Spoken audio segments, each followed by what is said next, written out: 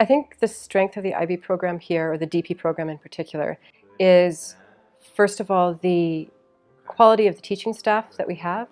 We have a very high number of teachers with advanced degrees, many, many years of experience, and I think teachers who are really both passionate about their subjects but also who really love working with students. Um, another strength of what we offer at AISL is very small class sizes.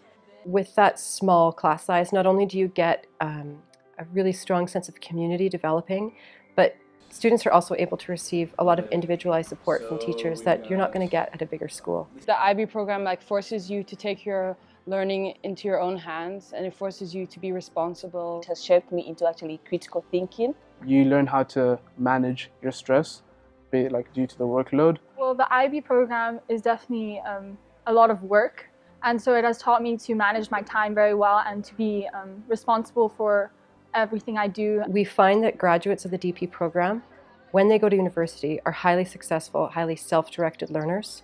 And they're, they've simply gained a lot of transferable skills in terms of organizing themselves, their emotions, their time, uh, the tasks that they have that are transferable not just to university but also kind of to, to life in general. I think it also really fosters critical thinking um, at a deep level the IB, the DP, is not simply a process of regurgitating a lot of factual knowledge.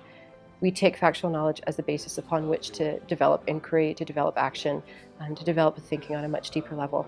A third benefit of the DP is that the program itself is very structured. So it's an international standard of excellence that is transferable to universities around the world, that people around the world are familiar with, and that there's enough structure as well as flexibility in the program that enables parents and students to know that they are getting a quality education.